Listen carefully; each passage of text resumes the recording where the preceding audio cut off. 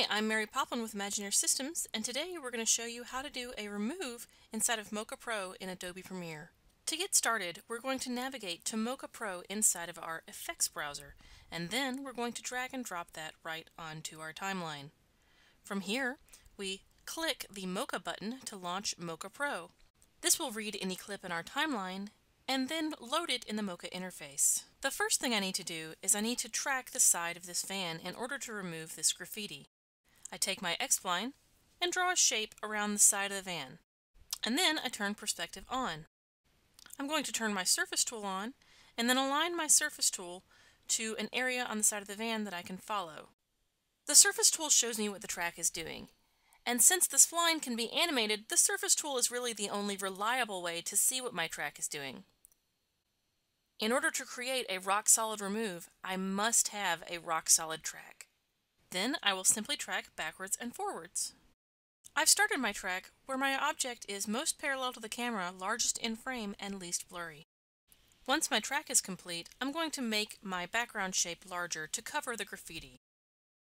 Then I'm going to rename my background layer to BG. From here, I'm going to select my X-Spline and draw a shape around the graffiti that I'd like to remove, because it's a little vulgar. Next, we're going to rename this layer to Remove.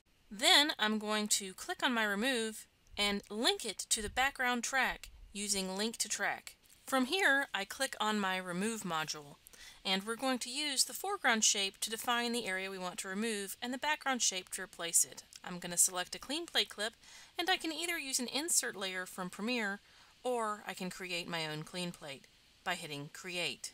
I have to have a clean plate because I can't see what's behind this graffiti so I have to invent the information. I'm going to create this information inside of Photoshop. First I'm going to select my rubber stamp tool and I'm going to paint this out using other pieces of the image. I've sped this up because this is not the most interesting part of the demo. The whole paint process using the rubber stamp tool and the heal brush took about five minutes. Once my clean plate is complete, I can simply save my Photoshop file and it will automatically be updated back inside of Mocha. If I want to check my clean plate, I can hit edit and make sure that the frame number for my clean plate is the frame number I took the clean plate from. From here, I click use clean plates exclusively and because I want to match the lighting, I'm actually going to use illumination modeling since there's so much smoke in the shot. So to do that, I go to my illumination modeling and I click linear illumination modeling and that will match my lighting automatically for me throughout the shot. From here I hit save and close and I go back to my Premiere timeline. Inside of my effect editor, I click render and in the drop down menu I make sure that I've selected remove. I can even adjust the matte by clicking on the matte drop-down menu and hitting apply matte. I'll need to show what my visible matte will be and then I can actually adjust the feathering right here in my effect panel.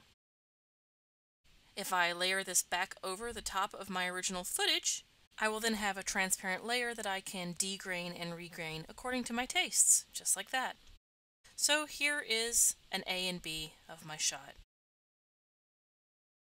and let's see what that looks like rendered.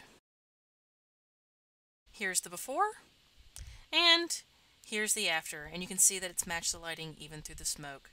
If you have any questions, I am Mary Poplin, and you can find us on www.borisfx.com.